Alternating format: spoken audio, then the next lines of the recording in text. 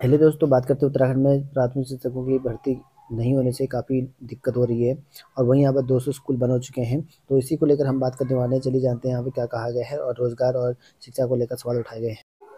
तो यहाँ पर आप लोग देखते हैं कि उत्तराखंड में शिक्षा विभाग में रोज़गार नहीं मिलने की वजह से उठाए सवाल, क्योंकि यहाँ पर शिक्षा और रोज़गार को लेकर बताया गया है।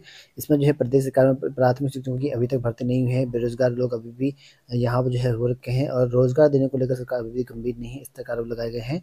और रोज़गार बनो, आवाज़ उठाओ के संयोजक जो कि यशवीर आर्या ने जो है, सरकार को जो है इन दिनों यहाँ पर नीतियों पर सवाल उठाते हुए कहा है कि उन्होंने कहा है कि राज्य में करीब लगभग लगभग आपके राज्य में 200 स्कूल बंद हो चुके हैं और इसका मुख्य कारण कि स्कूलों में अध्यापकों का ना होना और बच्चों की जो है संख्या कम होना बताया गया है। और लेकिन जो इधर दोनों ओर जो यहाँ पर आपस में संबंध हैं और इस में बताया गया है कि कई स्कूल ऐसे हैं जहाँ पर जो अध्यापक की सभी विषय पढ़ा रहे हैं और जिस कारण जो है मज़बूत होकर जो है धीरे धीरे जो अभिभावक अपने बच्चों को दूसरे स्थानों से जो स्कूल भेज रखे हैं, ऐसा बताया गया है। बाकी स्कूल लगभग लगभग दो सौ स्कूल बंद हो चुके हैं। ऐसे में शिक्षकों की कमी चलते हैं और प्राथमिक शिक्षक की भर्ती नहीं करवाने या जो भी आरोप लगा रखे क्योंकि यहाँ पर शिक्षक की भर्ती काफ़ी लंबे समय से दो हज़ार बीस इक्कीस से कोई भर्ती नहीं हो रखी है, वर्तमान समय में कोर्ट में पेंडिंग में है।